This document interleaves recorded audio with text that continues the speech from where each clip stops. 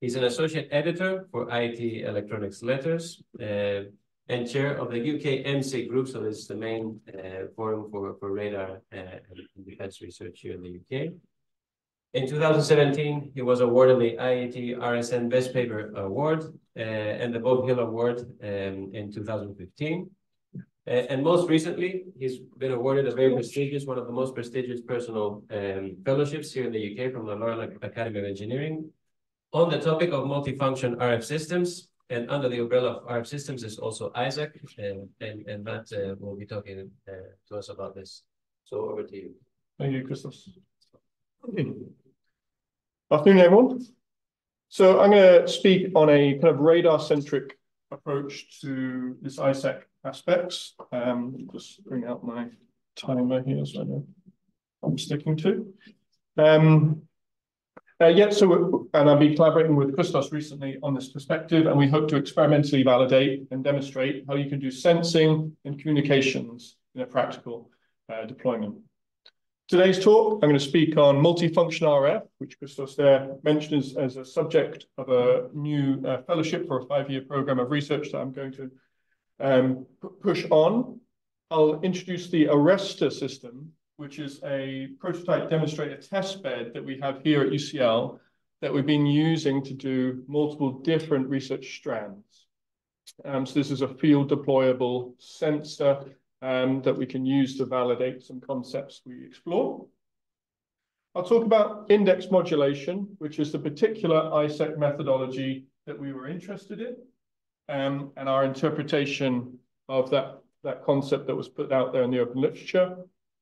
I'll show simulated uh, performance of what we expected to achieve with said methodology. That I have to thank uh, Murat Temiz in the audience here for excellent research work in that domain.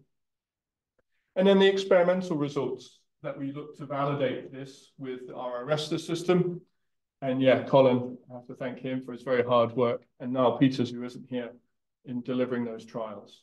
And then I'll try and conclude what we learned about doing this with our system. So the context here is um, my perspective may be slightly different, more perhaps more military challenge domain uh, piece rather than commercial comms element. But um, you can imagine a single platform that needs to accomplish many, many different things. Um, and those tasks may have been uh, traditionally undertaken by discrete different sensors. You may have to then deploy 20 different boxes with their own DSP, their own antennas, their own processing chain, their own capabilities that are totally isolated and incompatible with each other on a single platform. Here are ships used as just a nominal example. So the independent growth of radar and communications, having them totally separated, re results in increasing weight, volume of all of these sensors, compute and DSP and systems. Increasing antenna array sizes and radar cross-section for your own platform potentially, and then electromagnetic compatibility issues overall. This is just a tiny snapshot into why we want to perhaps look at tighter integration between uh, radar and communications. In the end, I guess, in a, in a world where hardware is moving to a much more agile, flexible, and software-defined concepts, then in the end, the aperture, if you digitize as early as you can behind that, it's a parallel process that you can do many different tasks once everything's in the digits. To one person, um, it's uh, perhaps ES or understanding the environment out there and other illuminators. Another person, you can do passive radar processing with the exact same digits.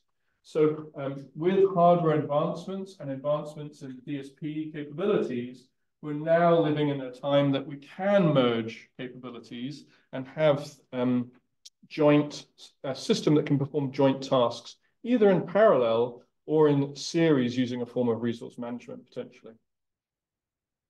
Okay, so that's perhaps the set, setting the scene as to justifying why we want to and what challenges we want to apply here. The UCL ARESTOR system.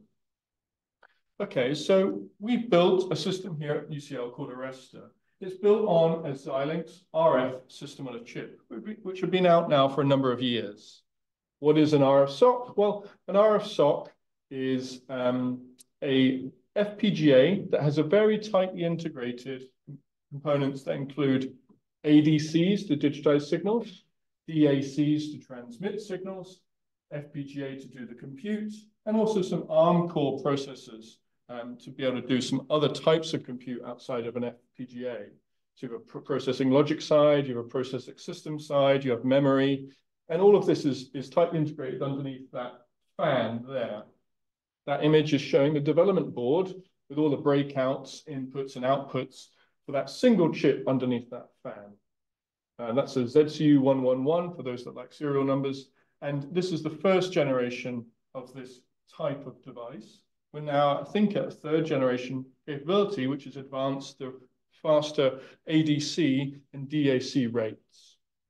Here you'll note some of the bits uh, depths of the DACs and ADCs and the number of channels that that has access to. That's eight channels transmit and eight channels receive. There is variants that also have 16 channels in some cases. And here we're talking about multi-gigasamples per second. So it's four gigasamples per second ADCs and six and a half gigasamples per second DACs. And this is per channel.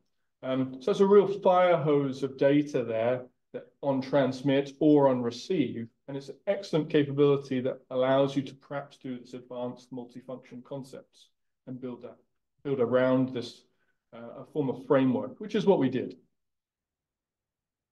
So the system itself is built on uh, an RF SoC, um, but we didn't just buy an RF SoC from, from DigiKey and rebrand it as something UCL made. Um, that, that would be a, a bad PR exercise. What we've done is acquire this development board, and that's a blank canvas, okay, as any FPGA is.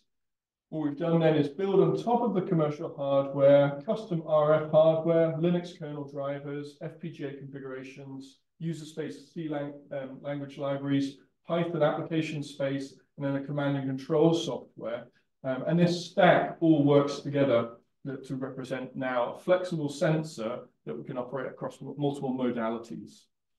Um, its um, reference designs are uh, provided in some case, but they're limited and inflexible and often not going to be the exact type of niche use case that everybody else has in this room.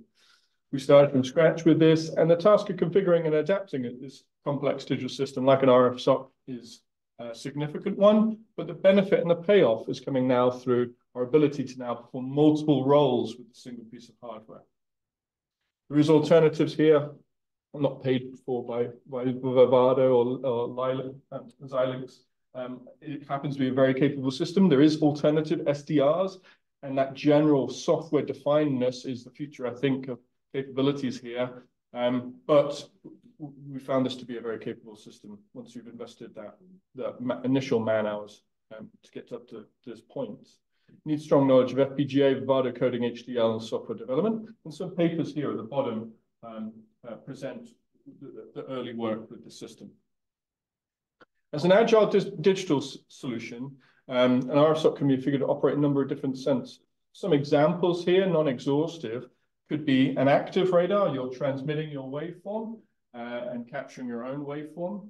That could be also done in monostatic, or we were hearing about bistatic deployments as well, and the benefits of that. So you can have this modular scalable solution, having multiple nodes, clocked, triggered, and then capturing in different geometries. You could deploy this as a passive radar. Passive radar, different definitions to different people sometimes, but what I mean here is that is when you're using an illuminator opportunity, a comms signal potentially, like digital television is a very suitable one. It has good high power transmit, relatively good bandwidths, um, uh, uh and simple enough um, to, to digitize and capture sub-gigahertz frequencies.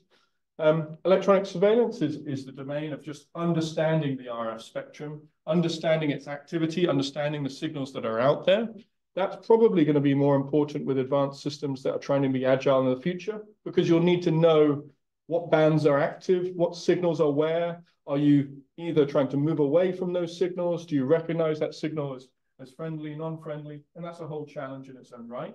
And then the topic we're talking about today, which is joint radar communications. Traditionally, all of those different tasks would be undertaken by different hardware solutions requiring multiple sensors on one platform but with current advanced digital solutions, it's possible to try and fuse that into a single device. Some of the research that we've looked at um, with the system, experimental research by its nature, is we've looked at multi-band classification of drones uh, using this hardware where we classified the payload on a drone using the microdoppler signatures um, at S, C, and W band. We have a radar communications uh, paper, myself and Christos, with Murat, Temiz, and Colin uh, on experimental study, and that's the focus of the results I'll show later. We have a Internet of Things classification of the waveforms that are present, which have a certain type of protocol, which is LoRa, uh, detecting and classifying the parameters of that. Active and passive joint sensing, where both active radar and passive radar is happening simultaneously at different frequency bands from one sensor. And then a multi-static deployment where we're sensing the target moving out and coming back from different nodes. Moving towards some array designs. We've seen some massive MIMO array and what arrays can do for your sensing capabilities. Um, so we're moving to um, array capabilities on receive as part of a ubiquitous deployment where we would broad uh, floodlight a region and then beamform on receive in order to sense the environment. Okay, radar-centric ISAC though. The particular type of ISAC that we were interested in um, came through this publication here, which is this MAJORCOM uh, publication, reference to the bottom there. Um, so this is taking some metrics, some index, indexes, and then modulating your communication signals on top of that.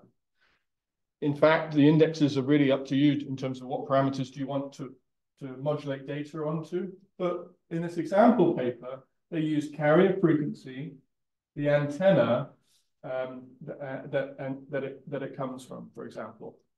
This system transmitted rectangular pulses. It was a simulation-based study, and the receiver acquired some channel information in the first case. So a sequence of different signals, marked by red and blue, came out of these two antennas, and therefore could be received by a comms node in the scene and decode the data.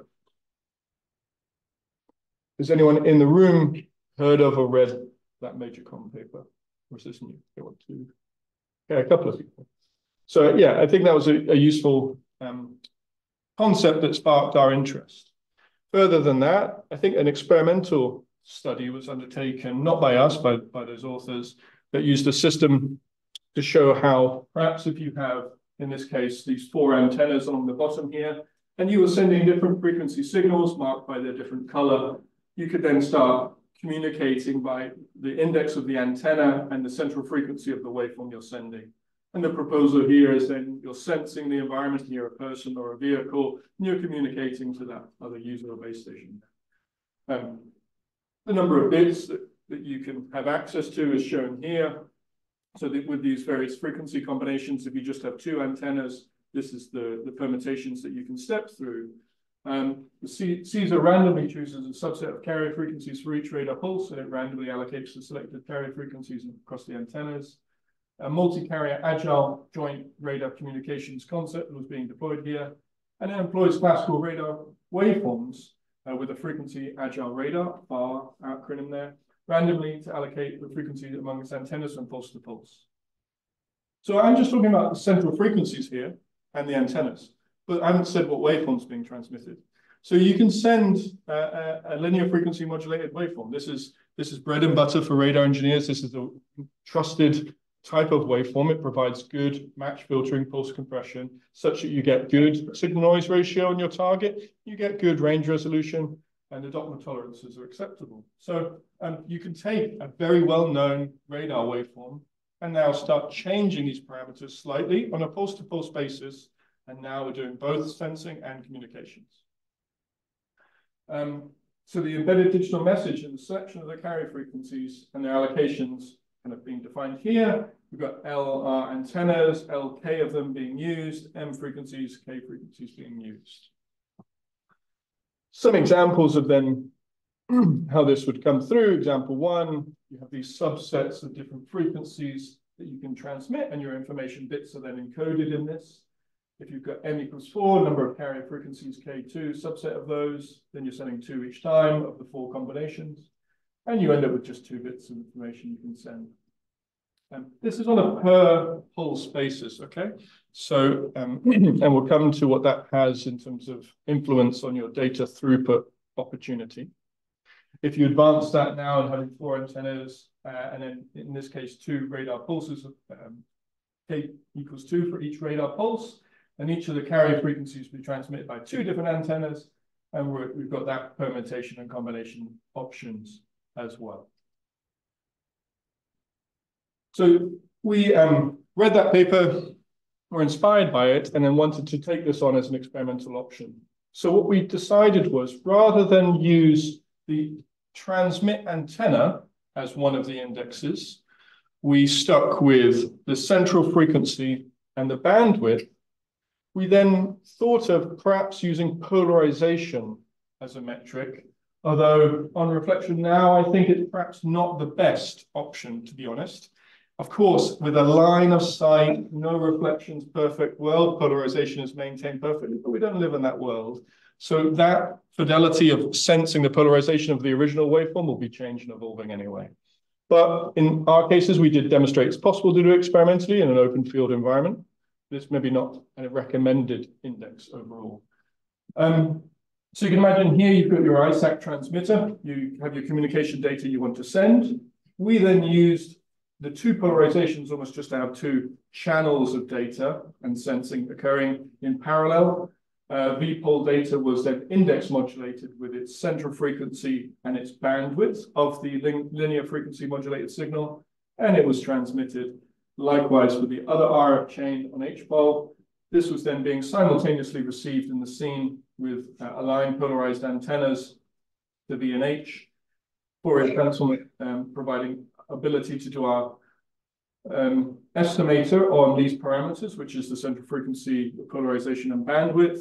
Uh, the polarization was calculated by comparing their H and B uh, relative amplitudes, and then we can demodulate the data on this side overall. Okay. Further details provided on the method are shown in that paper there. So prior literature showed that index modulation is a radar-centric method achieving joint radar comms. We implemented this on ARESTOR. We did both lab and field trials. We chose central frequencies and bandwidths and polarizations on two parallel channels. Other indexes you could pick, for example, is up and down chirps.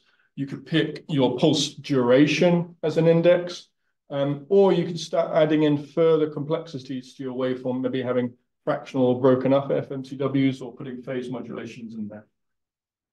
In our case, we were transmitting this within a S-band ISM band, the Wi-Fi band, um, and we were taking step sizes down in low megahertz size step sizes, both our central frequencies and our bandwidths. So it's a it's a LFM that's kind of breathing and walking up and down, and that's the data that's occurring across it. in this case is to separate um, LFMs being transmitted as a baseband example but here we have 11 bandwidth options with one megahertz spacing, 40 different frequencies, central frequencies we can use. And in some earlier cases, we looked at three polarization options. So not constantly having VNH always transmitting, but do VH or both, VH or both. And that's, that's another index. So this starts creating a trade-off space that you can operate in. What we are interested in uh, for communications, we're interested in throughput. What is our data throughput opportunity here? For a radar perspective, we're interested in signal noise ratio or a Cramer-Rao lower bounds. So the, this, this graph on the left-hand side has three different pulse lengths, one micro, 10, and 100 micro. For the shortest pulse length, the shortest radar pulse, we get the highest comms rate because we're doing more pulses per second. But radar would like a longer pulse to get more energy on target. So this is this is where we're playing around with now. um, for, for, for, those longer pulses, you can see we're, we're, we're, much lower data rates here, um, but but but but the the Cramer-Rao lower bounds and, and the estimate accuracies that you can achieve will be will be higher. So I would imagine, and not to jump to conclusions part at the end, but I would imagine anything that wants to be operational in the space needs to start making choices dynamically between those perspectives at some point within any given scenario, maybe communications is a priority.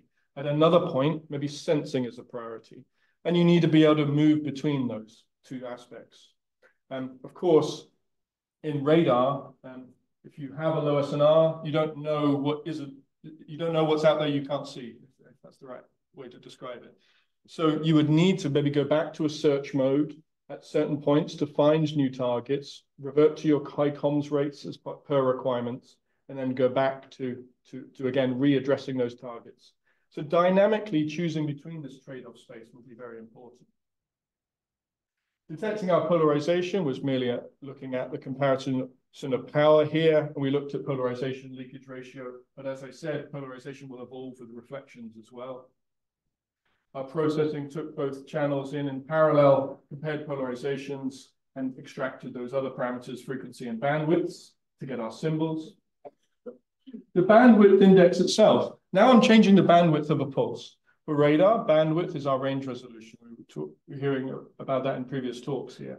So for a static situation where I have a target that should just appear like a Gaussian or a, a match filtered response of it, I'm now getting a fluctuating static target because its resolution is changing pulse to pulse. So this means you need to correct for this. Either you just uh, low pass filter to the worst bandwidth, or you try and uh, interpolate in the best way possible to, to try and correct for some of these problems of putting comms into your sensing signal. So this is an example to show what that effect looks like. um, we, are then looking at the polarization. This is all of our symbol error rate estimations uh, against what what performance we expect based on the indexes we're applying. And here again, we're looking at some results showing it throughput versus signal noise ratio. We have different constellation sizes based on how many polarizations, bandwidths, frequency step sizes, and, and bandwidth step sizes we're applying. The higher SNR is required to perform higher, higher order modulation sizes. Um, this is some sample rates, and this was done at the ISM band at 2.4 gigs. The communication throughput, again, you can see how uh, pulse duration is the biggest factor here. The smallest pulse duration pushing into the highest communication data rates uh, with a constellation size of 660. Radar communication can achieve higher data rates for these short pulses, but SNR is being hammered. Pulse duration as well, you can see how um, with these different modulated signals with index modulations of bandwidths and central frequencies, our signal to noise ratios really start varying quite significantly. This is plotted in linear SNR, but depending on the pulse duration size we have. Um, so it, it's these detrimental effects to the consistent response of a target need to be corrected for. And again, this is a trade-off space that we're playing across here. We need to think about radar received signal SNR, our throughput, and our pulse duration on the bottom there. You would want to end up doing a set of pulses of similar duration, so you could do coherent processing interval and get range Doppler surfaces from a radar perspective. Um, but there's nothing stopping you from then moving between different pulse durations based on requirements. In fact, radars, even um, air traffic control radar systems might use long and short pulses to, in order to do shorter or longer range sensing, but they're in a fixed manner and they do that repeatedly. More agile sensors in the, in current and in the future would dynamically perhaps look at changing this pulse duration such to meet your given requirement on data throughput or on target SNR.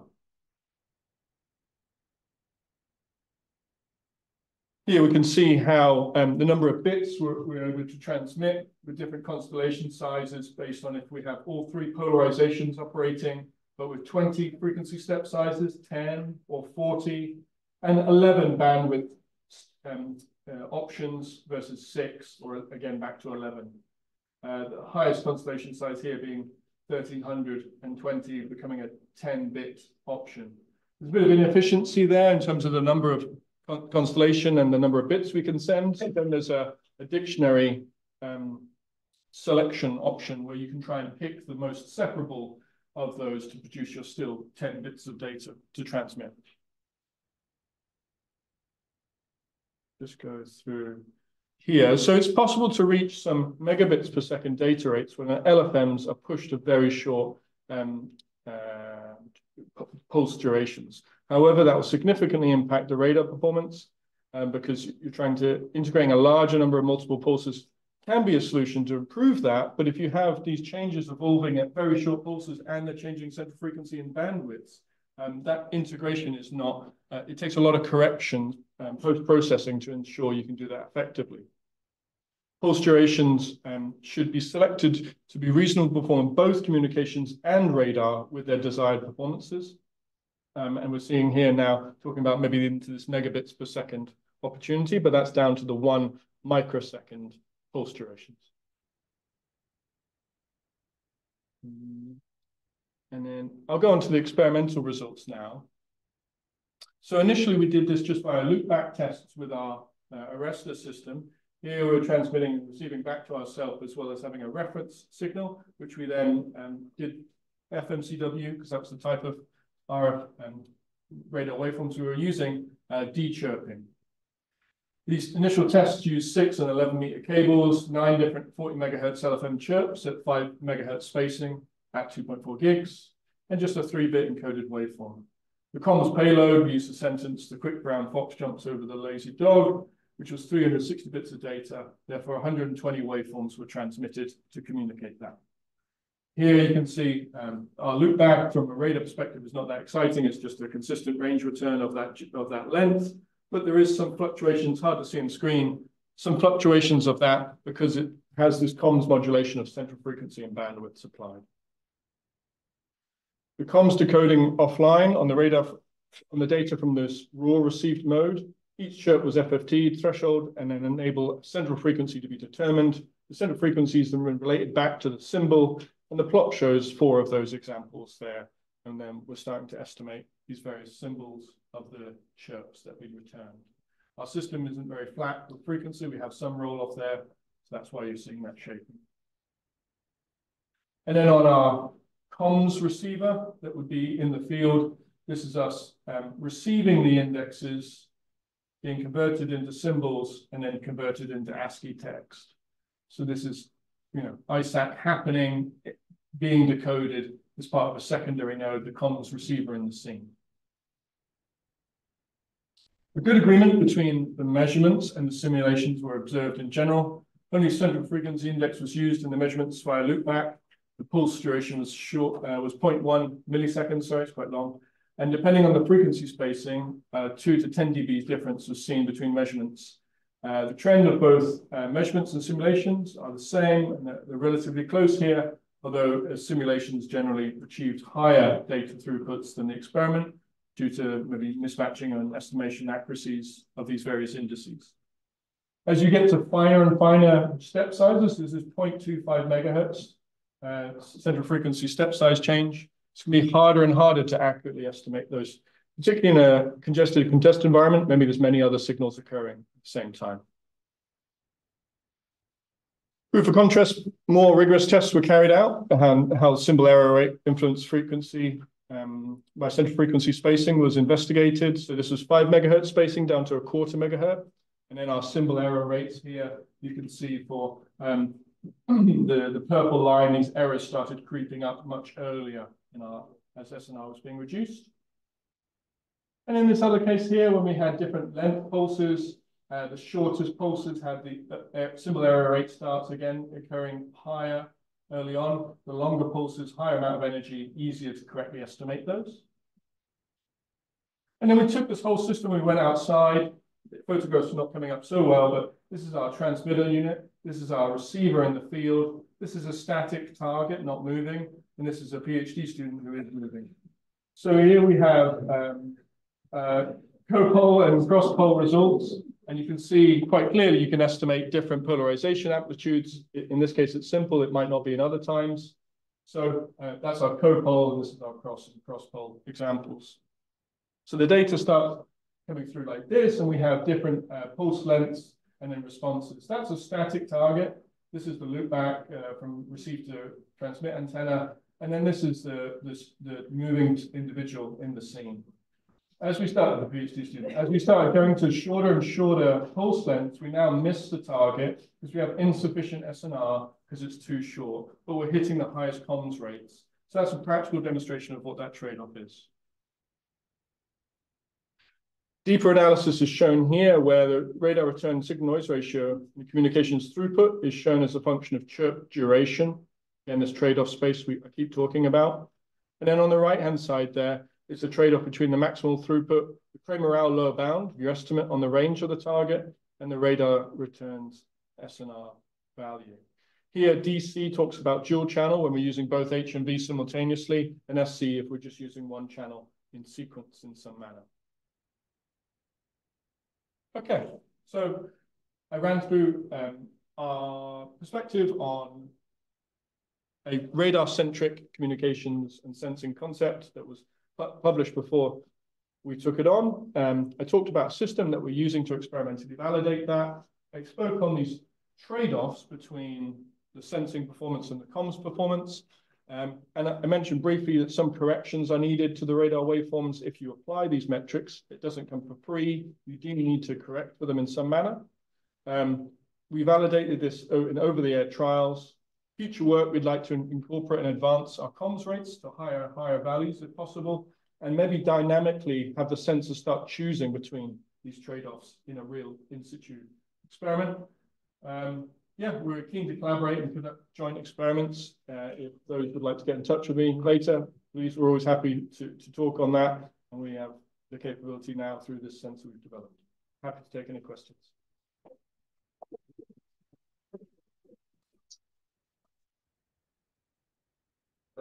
Any questions? Uh, thank you for that. Uh, really, really very, very bold to do polarization index modulation and such great results. Uh, I have three questions, if you allow me. The first one is, uh, do you have any kind of a switching hardware in, in the current device that allows you to switch from one channel to the other as for the high symbol rate?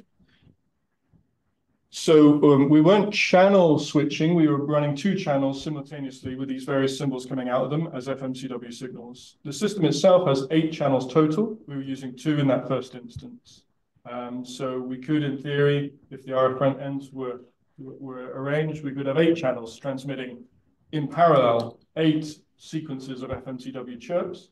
Uh, FMCWs are fairly resilient to um, um, interference uh, themselves. So um, and so we that is very much possible. You could try and have them separated in frequency as well to enhance uh, isolation between them. But yeah, we are a multi-channel system, Jeff. Okay. Uh, the other one was uh, you mentioned the MLE estimator that you have. Uh, but I didn't see any bit error rates. so what's yeah. your experience on using MLE estimators? Were they were they too hard to in terms of latency and computational requirements, and that could be cut in terms of symbol rate per error?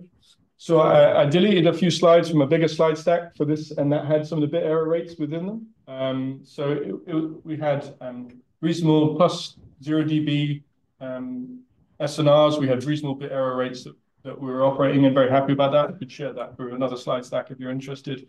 And some of it's shown in the papers that Murat was published, it was sitting in the back there. But um, it was seemed to be an effective manner. We, we were estimating this real time. Um, so the comms node is estimating those parameters in situ through the FPGA. Um, so some other projects we've got experience on doing uh, matching uh, against known known potential waveforms. So that's been found to be quite effective. And, and, and that was a it was a more of a staged M, maximal IU. So we didn't do the whole constellation, if I remember correctly. So we, I mean, it's a huge constellation on what is all the experiments. So we would do stages first. Let's say the bandwidth, taking the bandwidth in an MLE function, and uh, and uh, the same for the carrier, and then yeah, uh, yeah. two stages that for those two parameters. Okay, this last question. Yeah. Uh, uh, you got for for LFM modulation. Yeah. Uh, got any last going for phase coded because it's likely to improve your performance. And yes. Just pull out the constellation from the, your simulation, your communication constellation. Yeah, so we absolutely uh, that's ongoing work right now. Uh, we're just not able to to show those slides and show those results yet, um, but hope to maybe in a future event. Um, phase coded, absolutely. You actually could then, if you put more phase modulations in a single chirp, your data rates will significantly increase. Um, so great potential there as well. You'll need an advanced system that has that capability, hope, and we believe that we can put those modulations. And you need to understand what that does to the radar sensing performance. These discrete changes in phase within a pulse maybe art isn't so pretty, but maybe we can fix that. I have some results, so maybe we can discuss. Yeah, happy to talk. That'd be great. But it, it looks very good on paper. Anyway. Great. Thank cool. you. No worries. Just if I can have a comment on that. I mean, the, the, big, the one big advantage here is that we don't need channel estimation because you can estimate the bandwidths and the carrier frequency without estimating the response of the channel. When, once you add phase, you're going to have to start doing channel estimation. Any other oh, uh, question? nothing online, I guess. Okay, so thanks again, uh, Matt, for this.